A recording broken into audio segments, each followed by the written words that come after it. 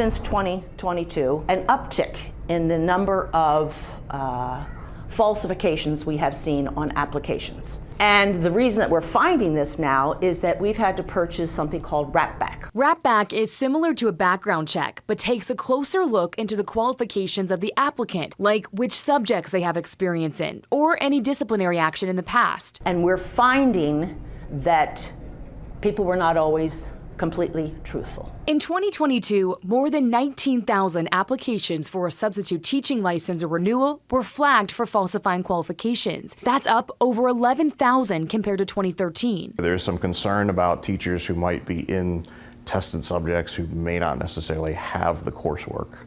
Um, and content knowledge is important. Brad Smith is a field representative with Cincinnati Federation of Teachers and sits on the credentialing board, which reviews the flagged applications. Statewide in 2022, 257 applications were flagged for falsifications. 614 were flagged for lying about their criminal history. So, how does this all trickle back to the classroom? Since the pandemic and the lot, amount of teachers that have left the profession, we are filling full time positions with substitutes. So that means there's a substitute in this classroom, and it could be there for six weeks, three months, six months. It could be there for the entire year. Katie Hofmann, who serves on the Ohio State Board of Education for District 4, says it's going to fall on local human resource departments to carefully review a substitute teachers' qualifications. There seems to be an idea that just a warm body in the classroom is acceptable. Well, it's not, because if you don't know your content, it's going to affect our children's growth and achievement.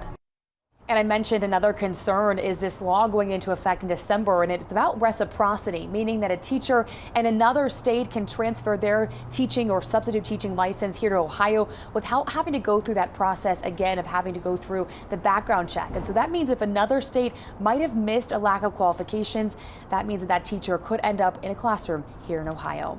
Live tonight, Lindsay Stone, WLWT News 5. Lindsay, thanks so much. We'll